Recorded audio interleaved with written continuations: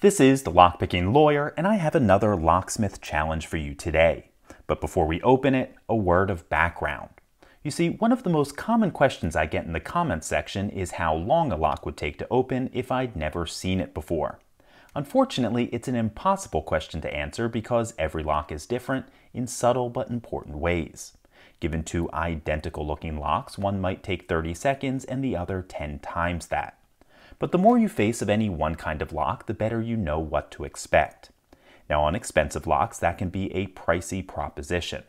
That's why I was pleased when I was contacted by a locksmith in the UK who wishes to remain anonymous.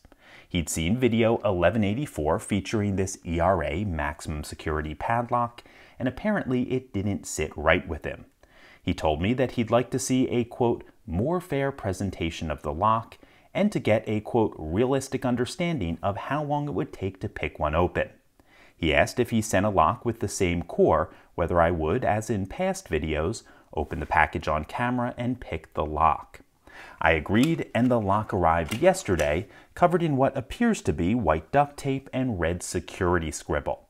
So let's open the lock and see if we can give a realistic understanding of what it would take for an experienced picker to open this up.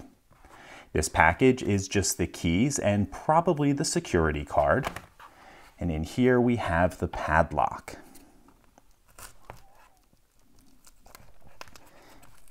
And I suspect this is probably going to be one of the more difficult packages to open.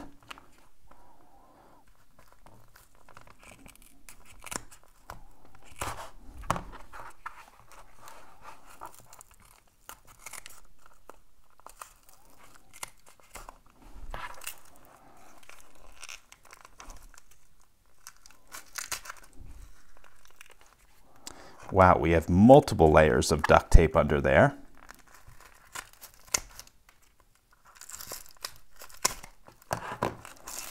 And looks like some layers of paper under that.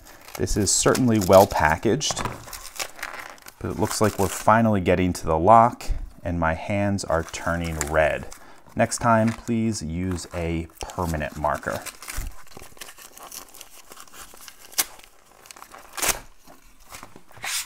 Okay, here we go.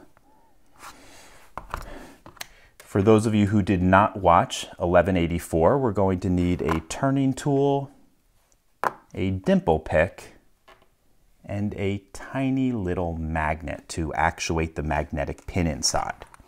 Okay, let's get to work. Get that turning tool in the side of the keyway. And we're going to go back and start working on the telescoping chambers. We have four of them. Number three is binding. Got a nice click there, nothing on the inner or outer pin. Same on four. I think we might have four set already. Okay, nice click out of one, two. Okay, deep false set.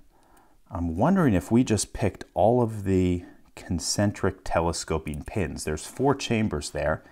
Let's test out the magnetic pin. Yep, the magnetic pin just bound and we got a very deep false set, probably just inner driver pins left now. And we got that open. That was far faster than I was expecting. Let's fish that little magnet out of there. We don't want to lose that down the keyway. Okay, folks, I am not going to gut this one. I opened it right out of the package, so it's obviously not altered. And if you want to see what's inside of here, we have telescoping and magnetic pins. Check out video 1184, which I will link below. So, to my anonymous benefactor, I've now published a quote realistic understanding of what it takes to open this. I suspect it's pretty similar to my last video, but I got a nice lock out of it, so I can't complain. In any case, that's all I have for you today. If you do have any questions or comments about this, please put them below. If you like this video and would like to see more like it, please subscribe. And as always, have a nice day. Thank you.